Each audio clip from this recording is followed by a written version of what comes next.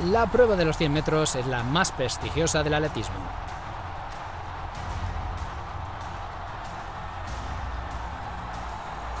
Tener el récord mundial y el título del hombre más rápido de la Tierra es uno de los logros más prestigiosos del deporte y aporta un estatus de leyenda.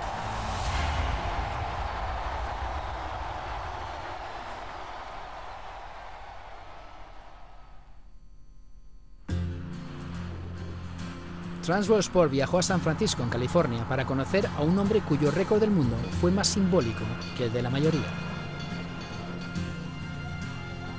En octubre de 1968 se celebraron los Juegos Olímpicos de México. Jim Hines corrió los 100 metros en 9,95 segundos, convirtiéndose en el primer hombre de la historia en romper la barrera de los 10 segundos. Hines rompió por primera vez la barrera de los 10 segundos en una competición en la que no se tuvo en cuenta su tiempo, fue en junio de ese año en los Campeonatos Nacionales de Estados Unidos. Cuando llegué a la pista para la final, sabía de los velocistas que teníamos, Charlie Green, Tommy Smith, Carlos y toda esa gente. Sabía que cualquiera podría ganar. Cualquiera podía haber corrido más rápido que yo, porque la pista estaba bien, hacía buen tiempo, la pista estaba rápida y cualquiera podría haberlo hecho realmente. Cualquiera podría haber roto la barrera de los 10 segundos. Ese tiempo de 9.90 fue registrado manualmente y para la Asociación Internacional de Atletismo no contó, pero demostró que Heinz y su compatriota Charlie Green, que también corrió en 9,9, en la que se convirtió en la noche de la velocidad, tenían el potencial para romper la barrera de los 10 segundos cuando llegara a México. Sabía que tenía que empezar bien. Al comienzo no batiría a Mel Pender o a Charlie Green, pero si iba a 30 o 50 centímetros de ellos, estaría en una gran posición. Y resultó que cuando sonó el pistoletazo de salida, Mel y Charlie Green corrieron. Yo estaba a unos 60 centímetros, me sentía en buena forma, iba bastante rápido porque sabía que en 60 o 65 metros les adelantaría.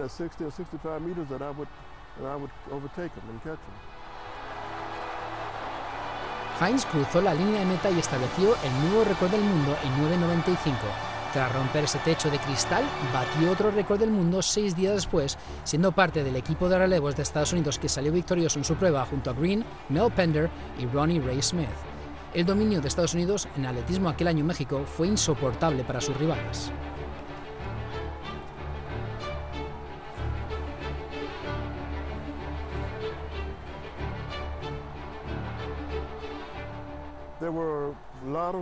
Había muchos velocistas rápidos y geniales en ese momento. Aquí en América teníamos al menos 12, 14 o 16 sprinters que podían correr entre 10 o 10 con 2 segundos. Cada semana competíamos en reuniones por Estados Unidos antes de ir a México. Lo que significa que estábamos compitiendo los unos contra los otros a nivel olímpico aquí en Estados Unidos. Y fue algo muy positivo. Después de México, Heinz dejó el atletismo para embarcarse en una carrera en el fútbol americano.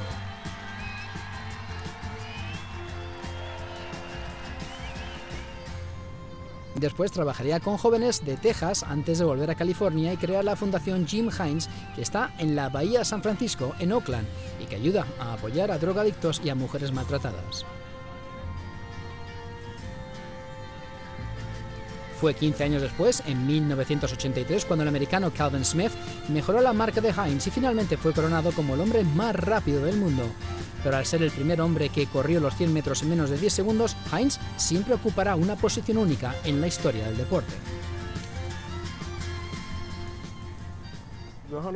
Ya sabes, ganar los 100 metros te otorga el título de ser el humano más rápido del mundo. Y tienes que salir ahí y decir, eh, soy el mejor, soy el más grande, ya sabes.